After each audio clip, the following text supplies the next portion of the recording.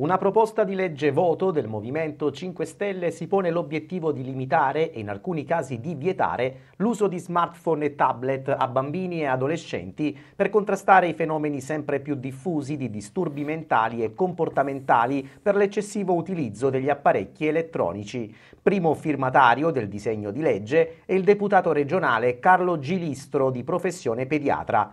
Il divieto è per i bambini sotto i tre anni, per gli altri il testo limita limita a un certo numero di ore l'utilizzo degli apparati elettronici. Il testo, presentato in conferenza stampa a Palazzo dei Normanni, sarà assegnato alla commissione parlamentare competente per l'esame.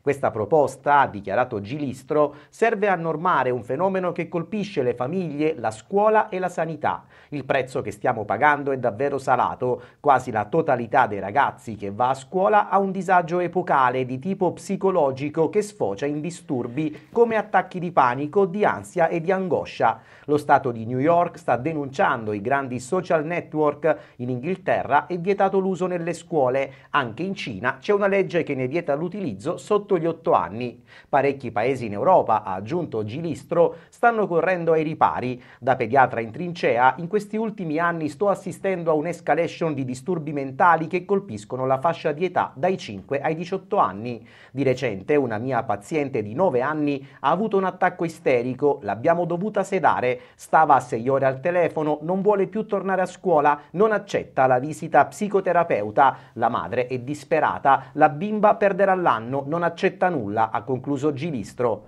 Il DDL voto è firmato da tutti i parlamentari regionali del Movimento 5 Stelle.